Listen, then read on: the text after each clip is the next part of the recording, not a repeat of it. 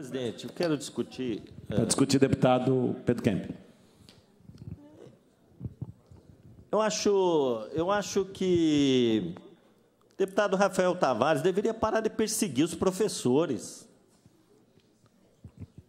Ah, trazer um requerimento desse aqui, para mim é ridículo. Uma professora falou em sala de aula que o Bolsonaro é de extrema direita. Onde é que está o, o erro dela aí? De extrema esquerda que ele não é. Socialista ele não é, comunista ele não é. Ele é de extrema direita? Todo mundo sabe que é. Essa professora me ligou, ela está com depressão, deputado. Para de perseguir professor. Ficar gravando professor em sala de aula. Que comportamento é esse? Agora você quer jogar para a sua base eleitoral? Que está combatendo a esquerda? Ora, o professor em sala de aula, ele tem o direito de manifestar a sua opinião. Quantos professores em sala de aula falaram que o Lula é ladrão? Falaram que é, é, o Maduro, um ditador, não deveria visitar o Brasil. Muitos professores falaram também.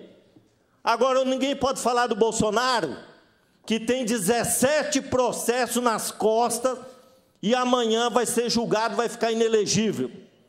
Porque foi o pior presidente da República que nós tivemos até hoje, que arquitetou um golpe de Estado que queria matar nossa democracia, o Estado democrático de direito, um corrupto que recebeu o colar de joias do rei da Arábia Saudita, embolsou, fugiu para os Estados Unidos e só entregou depois que foi descoberto. Um genocida que, por conta do seu comportamento, do negacionismo, foi responsável pela morte de milhões, milhares de brasileiros. Agora o professor ele não pode falar nada. Ele tem que ficar lá na sala de aula quietinho. Se fosse falar do Lula, podia falar. A professora falou que ele é extrema direita. Como a, a primeira-ministra da Itália é de extrema direita, todo mundo fala. Como Donald Trump nos Estados Unidos é de extrema direita. Como Vossa Excelência aqui, deputado Rafael Tavares, é de extrema direita. Ou o senhor é de esquerda? Não é, né? Então eu estou falando, Vossa Excelência é de extrema direita. Eu estou ofendendo Vossa Excelência? Estou dizendo alguma inverdade aqui? Agora a professora está com depressão, deputado. Para de fazer isso com as pessoas. Agora incentivando o aluno a gravar, filmar, professor dando aula para depois querer denunciar.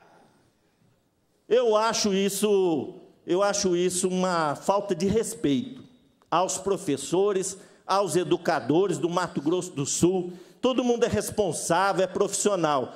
Agora estão tentando impedir que os professores manifestem opinião. Manifestar opinião não é proibido. A nossa Constituição. Vocês aqui na tribuna, quando foi votar o meu projeto fake news, falava de cerceamento da liberdade de expressão. Vocês estão querendo fazer isso com os professores. Cercear o direito do professor manifestar a sua opinião. Então, eu, eu peço aqui aos, aos senhores deputados, deputadas, que votem contra esse requerimento e deixe a professora exercer o seu ministério né, de, de educadora e parar de sofrer perseguição é, por conta dessa discussão meramente ideológica que se traz aqui. E que Bolsonaro é de extrema direita, e é genocida, e é um golpista ele é comprovadamente. E se a justiça for feita, há de ser preso nos próximos meses aqui no Brasil. Obrigado.